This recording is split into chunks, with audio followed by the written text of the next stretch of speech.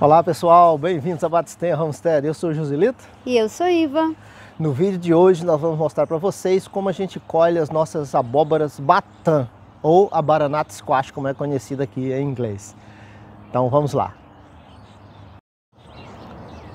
Olha só pessoal, com essa temperatura de 0 graus Celsius, olha como amanheceu tudo hoje aqui, tudo queimado. Né? Então está na hora da gente colher essas abóboras batã.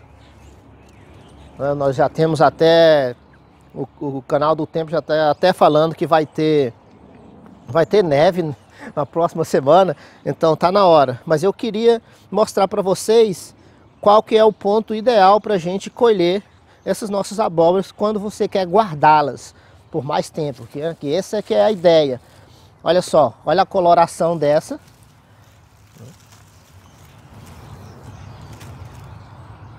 Eu vou pôr a outra aqui para vocês verem a imagem, como que ela é. Olha só, a coloração está boa, bem, olha, até a diferença dessa outra aqui, olha. Essa aqui está mais clara, essa aqui está mais escura. E esse cabinho aqui já está também mais escuro. Deixa eu tirar ela aqui para vocês verem. Lembrando que você sempre tem que deixar, se é para guardar, você tem que deixar um pouco do cabinho aqui, para que ela vai sarar aqui em cima e vai ficar, não vai apodrecer. Então lembre-se disso. Mas esse aqui é o ponto ideal para colher, para guardar. Está bem dura já a casca, então ela vai preservar melhor. Mas como nós estamos com essas temperaturas muito baixas, nós vamos colher todas. Na realidade, quase todas aqui estão boas para isso, mas deixa eu te mostrar essa daqui, olha.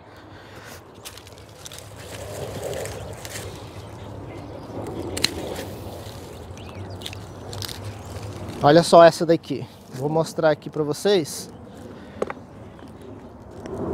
Olha a coloração de uma e da outra.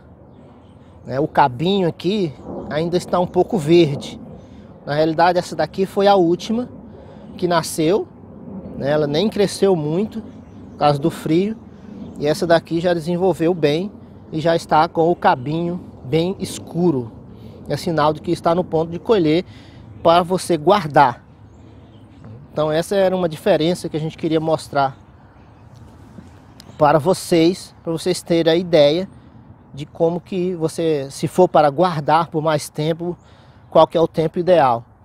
E a natureza, né? Porque aqui no nosso caso não tem mais como deixá-las aqui, porque daqui a pouco vai ter noites muito geladas, né? Já estamos a zero graus à noite, então não vai ser bom para elas congelar, aí fica ruim. Então nós vamos colher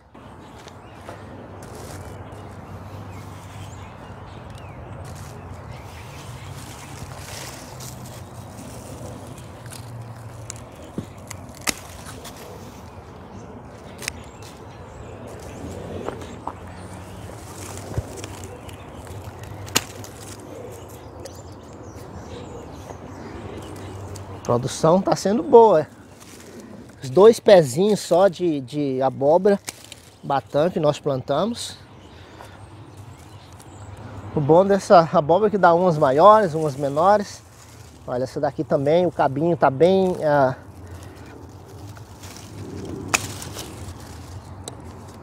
tá bem escuro. Essa é uma das mais velhas.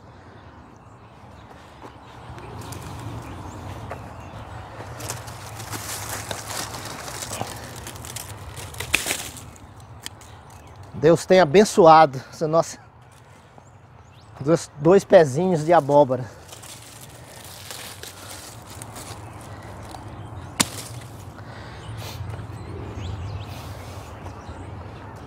Olha só, da agora para frente não dá mais nada.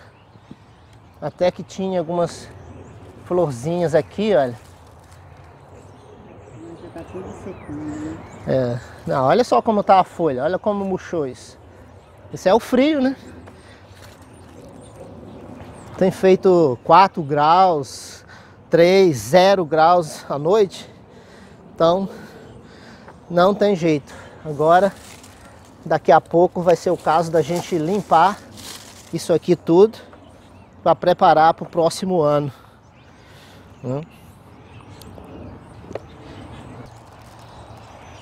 Pois bem, pessoal, tá aqui a nossa produção, a nossa colheita de abóbora batã ou baranata squash. Né? Nós já colhemos outras vezes, né, para fazer aqui em casa. Mas agora nós estamos colhendo. É claro que nós vamos comer também no decorrer do tempo, mas nós estamos guardando. Nós vamos guardar em lugar fresco e seco para ver a durabilidade, se ela vai aguentar até a próxima safra. Então, você continue nos acompanhando aí que a gente vai mostrar isso aqui para vocês daqui a alguns meses, como é que tá. Nós vamos deixar aí duas ou três né, para ver até quando elas vão aguentar. Então a gente não pode esquecer que o homem planta, mas é Deus que faz crescer. E nós queremos aproveitar para mandar abraços para algumas pessoas. A Letícia Gomes, lá no Mato Grosso, na cidade de Brasilândia. Muito obrigado, Letícia, por nos acompanhar. Cláudia Leandra Otávio, em Araraquara, Santa Catarina. Também para Camila, Mariana e Joilma. Muito obrigado por vocês nos acompanharem. Abraços também para Lia Antunes, Paz, em Minas Gerais. Tereza Silva, lá em Lisboa. Muito obrigado por nos acompanhar aí de Portugal. Adriel Pérez, de 12 anos. Olha só, Adriel Pérez tem 12 anos, está nos acompanhando lá do Rio Grande do Sul. Edna Benevenuto, de Matipó, Minas Gerais. Abraços também para Maria Aparecida, lá em São Paulo. Elisete Nunes, do Brasil também. Adriana Guerreiro, em Santa Catarina. Queremos mandar um abraço também para Glauber Binho e Dona Penha. Dona Penha é a avó do Glauber. Então a dona Penha completou 73 anos no Dia das Crianças, né? Lá em São José dos Ramos, na Paraíba. Então feliz aniversário para a senhora, que Deus abençoe com mais anos de vida. Ruth Chagas, de Hidrolândia, Goiás. E Terezinha Alves dos Santos, de Cambuci, Rio de Janeiro. Olha, muito obrigado a todos vocês que estão nos acompanhando. Aquele abraço a cada um de vocês, aqueles que nós falamos e aqueles que a gente não falou também. Muito obrigado por vocês nos acompanharem. Nós agradecemos de coração por vocês estarem aí compartilhando os vídeos com seus amigos, com seus familiares. Se você chegou aí agora e ainda não se inscreveu, se inscreva no canal, dê o seu like, o seu joinha aí pra gente e compartilhe os vídeos. Quem sabe outras pessoas vão ver isso e vão ficar incentivadas a plantarem.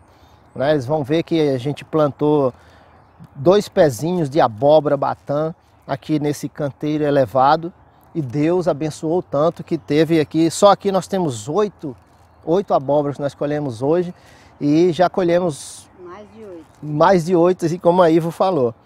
Então vale a pena plantar então compartilhe para que outras pessoas possam a, ah, acompanhar. Então muito obrigado, nós agradecemos de coração. Eu sou o Joselito. E eu sou Iva. E até a próxima.